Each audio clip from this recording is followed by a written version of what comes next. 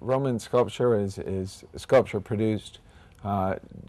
in Rome, uh, generally in the period from about